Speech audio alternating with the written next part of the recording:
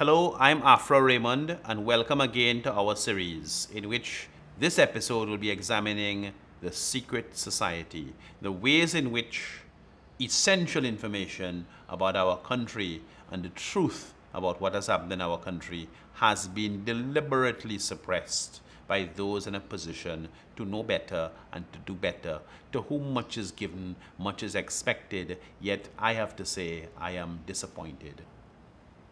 I spoke earlier on about a so-called political divide and a degree of cozy consensus to keep things in a comfort zone. We spoke about a code of silence in relation to the CL financial bailout. And I'm going to amplify that discussion at a national level now about the secret society. And I'm going to say that there are substantial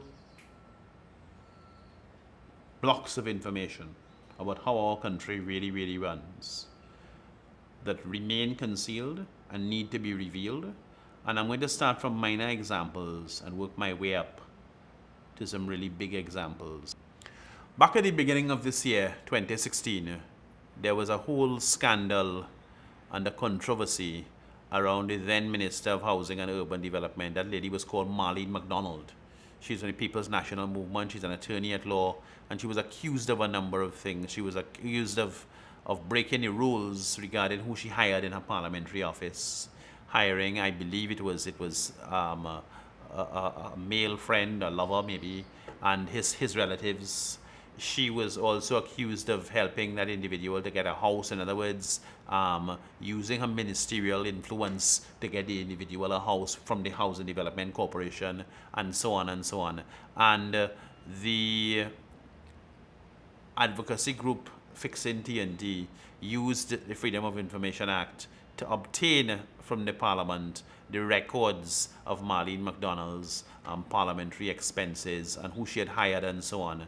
And uh, they made a loud complaint about some of the facts that were revealed in that. And to cut a long story short, Miss McDonald eventually exited the cabinet. It's, it, it's a little unclear to me at this stage whether she was fired or whether she resigned or what. But the fact is she wasn't there anymore. And in fact, the, the Rowley cabinet, Dr. Rowley's cabinet, suffered its first casualty. And Fixing TNT went one stage further and made an application to the Parliament to have uh, expenses revealed for the other details of employment and so for the other 40 members of Parliament.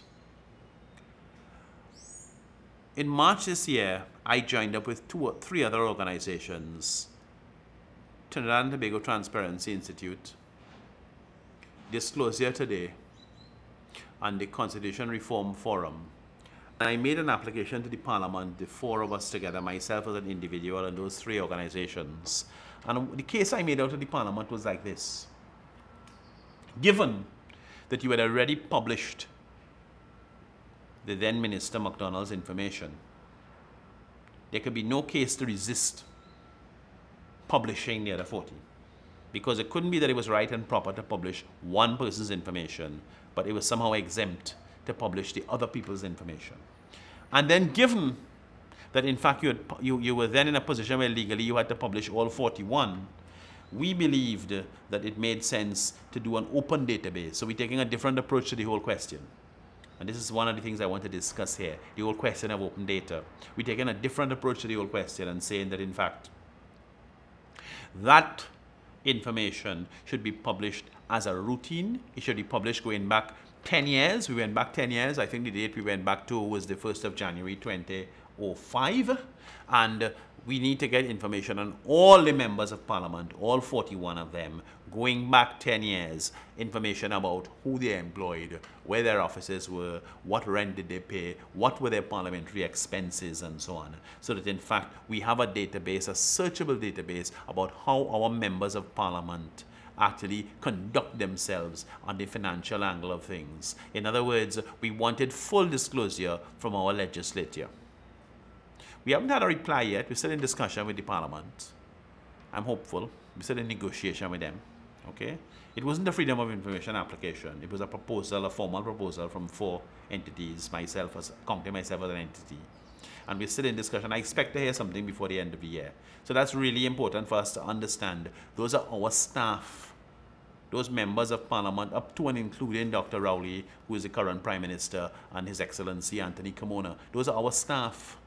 They may be high level staff, but they work for us. We pay their salaries. They're supposed to do their job to the best of their ability and within the law, in the public interest. Therefore, we have every right to know what they're doing. But it takes us another interesting point, talking about the secret society. So two tremendous constitutional outrages took place during the People's Partnership Administration between 2010 and 2015.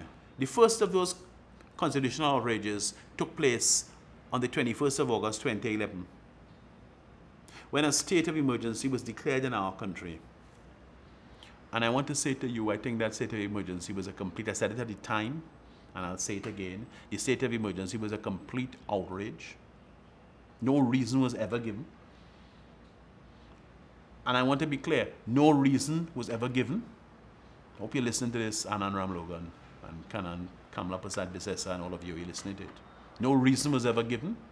Reasons were given conflicting reasons. One reason today, another reason tomorrow, another reason the next day. To my friends in NJAC, you're all part of that situation. I haven't heard any explanation from you about what happened, including my late and, and, and beloved friend Makandal Daaga. I heard no explanation.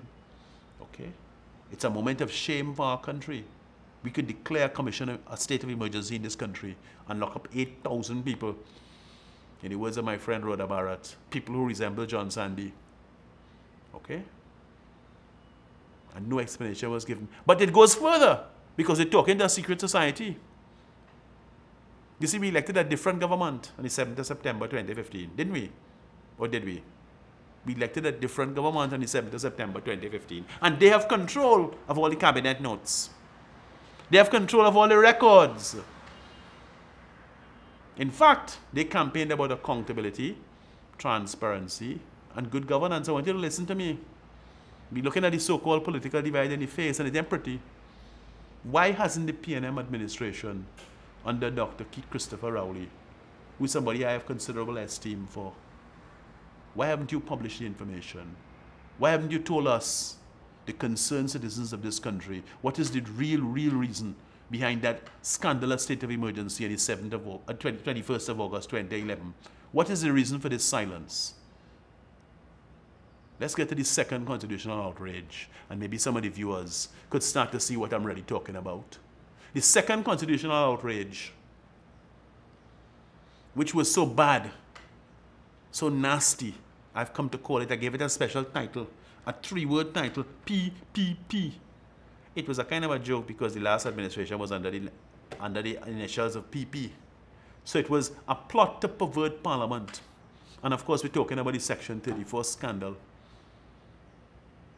that commerce, that bacchanal that took place in our parliament, where a particular law was passed through the parliament. It changed from the lower house to the upper house. Nobody could tell me why it changed. The 10-year rule is too detailed to go into in this video. It's a short clip. It changed from the lower house to the upper house. You got support in the upper house.